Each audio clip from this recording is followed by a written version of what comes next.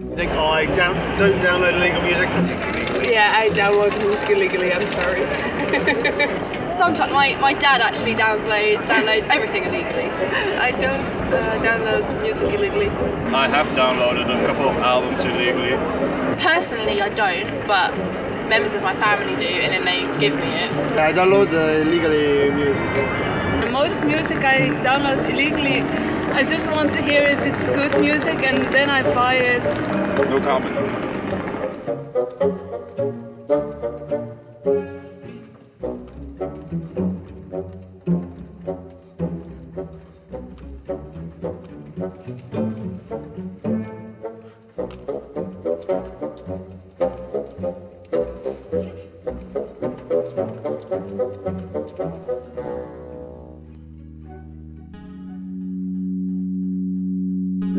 The industry that we're in is not necessarily these days a music industry as such. I think as if anybody getting into music is going to have to see it from the point of view that this is a media industry now.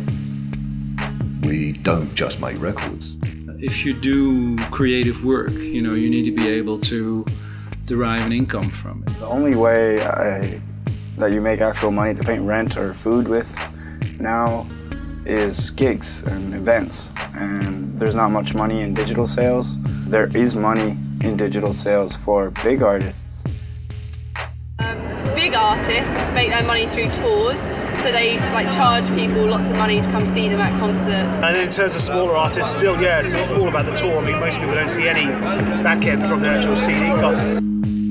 Shops have to come up with new ideas, just like artists have to come up with new ideas, and everyone has to come up with new ideas nowadays. And the more things you offer in your shop, the more possibilities you have of one of those things to work. Lots of shops are gone. We all know that. Uh, as you can see here, I'm still like running a record shop, and it's possible. But like we said, you cannot just focus on record shop. You have to be open for like merchandise, selling some extra things like bags, headphones, equipment, um, videos, CDs, DVDs, uh, T-shirts, design stuff, uh, and next to that, organizing events, trying to set everything online. If now you choose to just be a vinyl shop, I don't think you make enough to hold up your shop. I think a lot of people, since they only have a thousand files of their favorite artist, actually want to have something because we're still animals. We're still like holding something in our hands. Still, recorded music on carrier CDs and so on is an important level of income, but obviously digital is taking over. It's getting more and more important. I downloaded my own CD illegally. Is that, is that a crime? my CD is actually online. I don't know how somebody put it there. And I downloaded it to check if it was right, and it was right. So I actually downloaded, illegally downloaded my own music. It's a crime. Technically, it's a crime. Technically, it's a crime. Well, it's like, Well, yeah. we're not criminals. No. we're just musicians. I think a lot of people, I mean, we're all aware of that. Everyone downloads illegally. Some people still have the respect for artists to go buy their stuff. I think I can understand completely if someone doesn't want to pay a euro for a track and just goes and downloads it illegally. And I can also respect and understand the person that, as a principal, does go pay that one euro because it's so cheap. I mean, why not give it to the artist? What is for us important is that the source that people uh, are using is a legitimate source. I actually don't have that much of a problem with illegal downloading. Part of the problem, I think, is actually to step back from the question of, of whether downloading is, is good or bad for the industry um, and kind of address it from the point of view of um, how would you actually define an illegal download these days. Part of the problem with, with um, changing laws is that that's not something that can happen overnight. Changing a law can take months, and changing a law can actually, in some cases, take years. And where I think we have a problem at the moment is that technology can change overnight.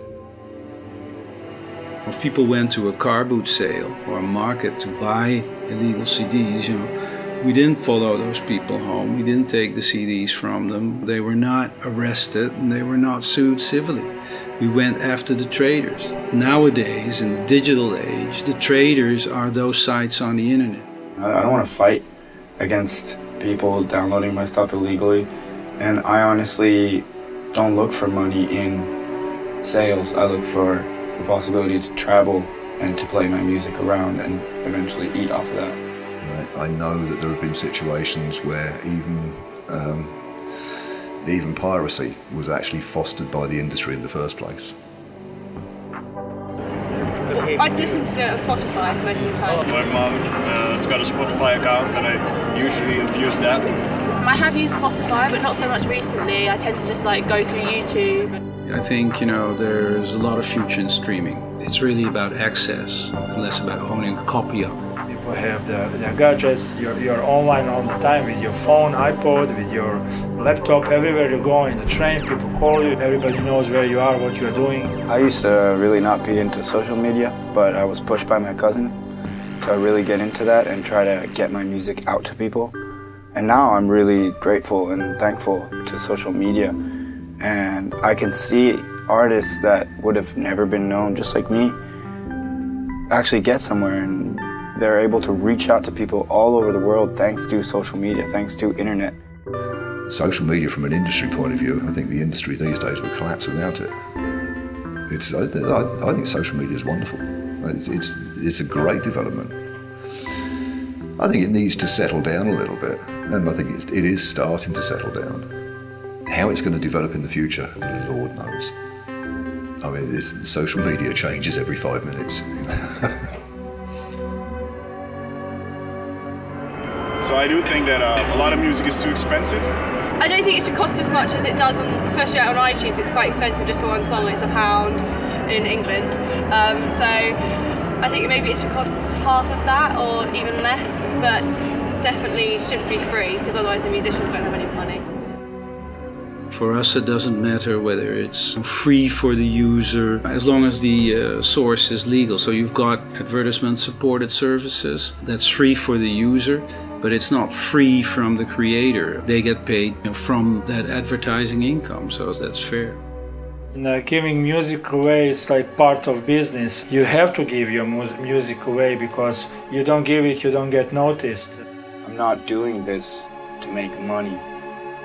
And even if I was doing this to make money, I wouldn't be pointing on digital sales for that money.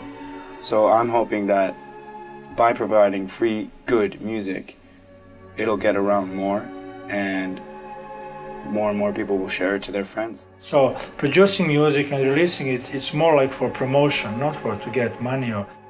But the truth, of course, is, is that consumers will go to where they can get what they want the cheapest. Zero is zero, zero euro is the cheapest. Look, I mean, most of the great music has been recorded, cost a lot of money to record properly like big productions with orchestras, studios.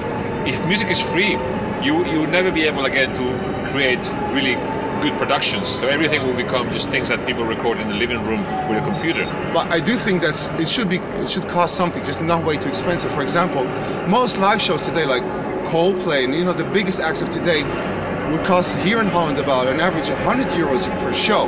Now, which 16 year old nowadays in the middle of recession can afford a 100 euro show? Make it your business to facilitate what the consumer wants. At the moment, everybody is releasing music, so it is more like uh, quantity than quality these days. Everybody can set up their own small label, put it on Facebook, online, uh, and say, This is my release. I think that now it's really hard to live with one source. People have to start having more knowledge of more things at least at the start. It's not only just, like I said, producing, you have to be involved in scene, you have to play, you have to have your own label, you have to put your things online, let's say, you have to be handy with designing, producing, mastering, so you have to be more focused on the different things, I think. If you're making your own music, you need to be constant. That's the hardest thing, constantly making music, constantly trying your best, and constantly getting it out and promoting it. You need a lot of motivation. Uh, you need a lot of discipline on yourself and will, because sometimes you just maybe don't want to make music. if you want to remain in the industry and you want to keep on going forwards, you gotta. It's every morning on the bike, going to school, going to my work, and then having music with me, and then just, you know, it keeps me from being like cranky all day. just like the music in the morning, so I love it. I'm doing this not to make money, but just to see who does care.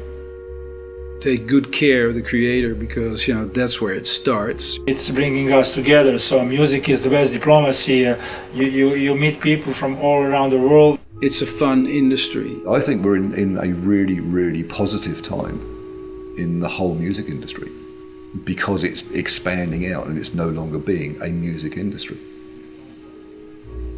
The way it used to be in the past was fun. Kind of the way it is now is fun. I hope it will stay being fun for, for the next generations.